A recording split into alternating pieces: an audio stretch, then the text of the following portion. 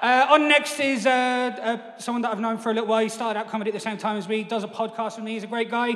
Please welcome to stage Jimmy Ennis.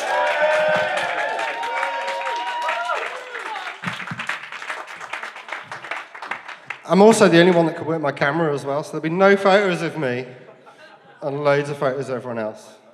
Ah, so if you want to take photos of me. That was very eager of you there. Go on,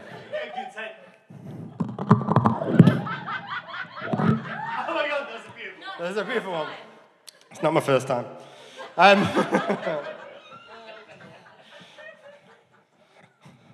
so yeah, but how do I follow that after?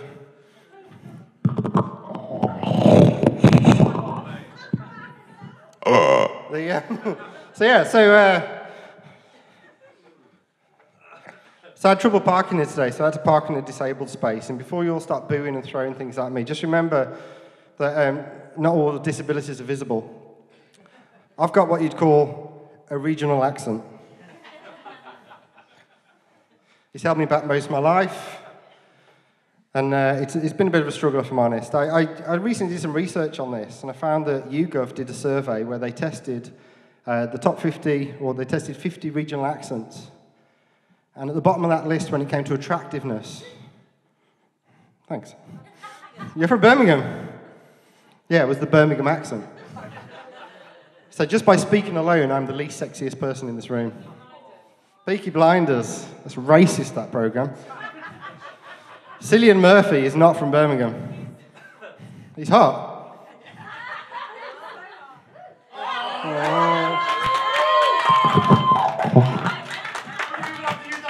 Yeah. Everyone at the back's thinking, I hope there's a spare microphone. With spittle all over it.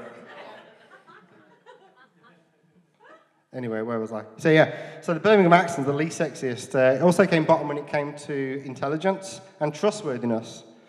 So what they found that if you're from Birmingham, you're better off staying silent. But I'm not from Birmingham.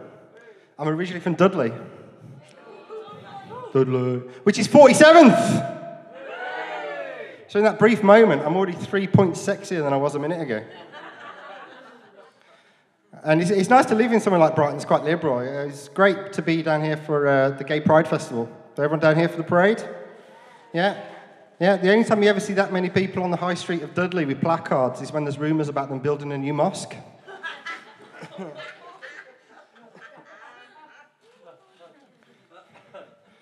but I don't have the accent. I don't have the Dudley accent because my parents tried.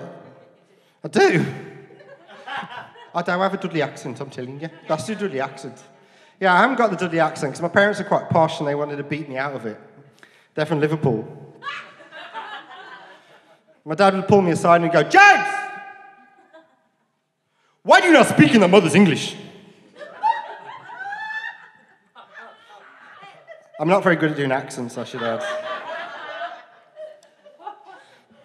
So I tried to hide the Dudley accent. I need all the help I can get because I've put on weight. I'm the biggest I've ever been uh, ever. I've got quite a weird body. I've got kind of quite scrawny arms and legs, but I've got quite a big fat belly. I'm a bit like a pregnant greyhound. and there's a big thing in this country about, uh, the, you know, I'm overweight, but they call it clinically obese or morbidly obese.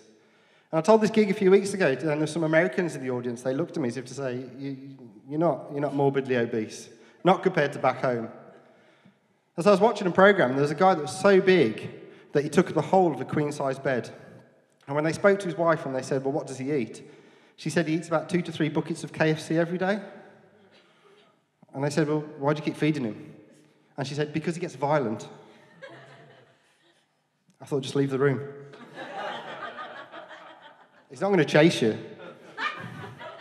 This man needs the fire brigade to turn him over in bed. But I've recently turned 40. Not one person seems surprised then. Thanks. Yeah, and, and he's, he's kind of been a bit more concerned about my health. So I, I, recently sent off a couple of strands of my hair for one of these DNA tests to see if I've got any allergies. And it came back quite interesting. It said that I was lactose intolerant, I should avoid wheat, and I'm a person of interest to Sussex Police.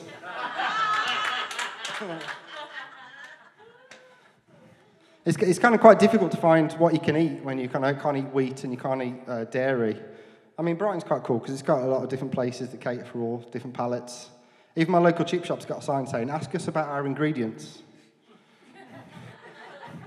I'll be honest, the beauty of a kebab is the not knowing what's in it. But I get my intolerance from my mum.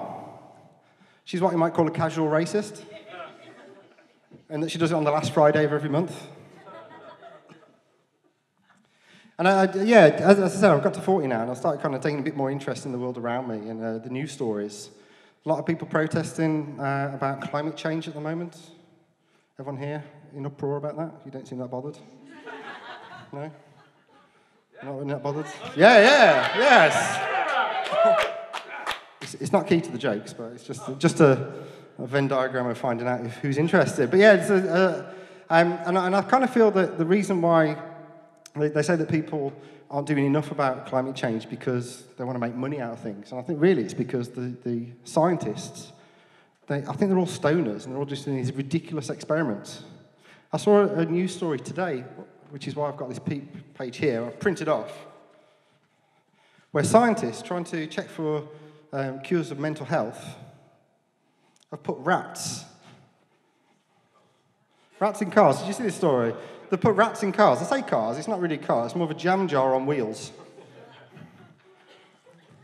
The interesting line in this story about a rat in a jam jar on wheels to test its mental health was it said at the end, the rats were not required to take a driving test at the end of the study.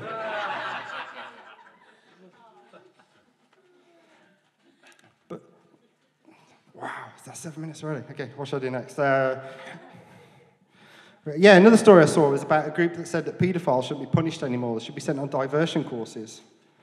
And the newspaper likened it to the speed awareness course. I thought, fucking hell, I wouldn't want to go on the wrong course by mistake. but I've started watching. Ooh, what's that? Where's it going? Where's it going? I'm not. Going, I'm standing still. I can't get past it anyway. It's a fire hazard. Um, so yeah. So um, I've started watching shit TV. I started watching uh, Netflix. You all got Netflix? Netflix does that weird thing where if you don't decide what you want to watch, it decides for you and plays an episode. I'm so lazy. I got through a whole episode of America's Got Talent the other day. And you're looking at me judging me. I can, I can sense that. But there was a woman on it who was kind of American big, not Jimmy big. And uh, she was in floods of tears when she got the four yeses to go through. And she was saying, you know, my weight has always held me back. Let this prove that no one can ever tell you you can't achieve your dreams. And I think those are beautiful words to live by. And it's always been my dream to be the first female black astronaut into space. I've been Jimmy Ennis. Thank you very much.